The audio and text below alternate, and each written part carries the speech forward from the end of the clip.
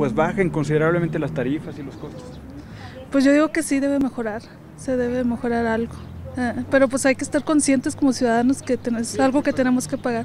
Sí, ojalá sí baje por el bien de todos, sea lo justo para lo que consumes, porque pues te llegan bien altos los recibos y luego ni estás en casa. Bueno, no he tenido problema, pero sí tengo mucha escasez de agua. Unos días cae, otros días no cae y tienes que estar así en espera para ver cuándo puedes lavar y cosas así porque no te cae del diario.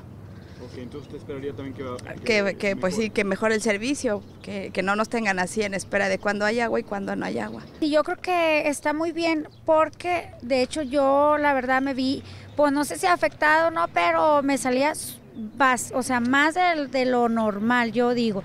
Me salían recibos súper de 600, de 700 pesos al mes, que es, yo creo que es mucho, ¿no? O sea, es bastante. Y ahorita, no sé cuánto tenga, la verdad, no sé.